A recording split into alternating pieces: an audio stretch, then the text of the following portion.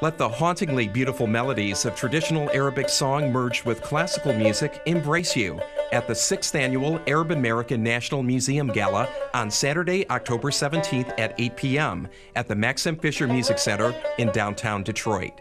The gala features a stunning live performance by the world renowned Mesto Multi Ethnic Star Orchestra, a 40 piece orchestra conducted by the esteemed music director Nabil Azzam with special guest vocalist Morocco born Karima Skalli, known in the Arab world as the Golden Voice. Don't miss this very special one night only event. For tickets, call 313 583 3360 or go to www.arabamericanmuseum.org.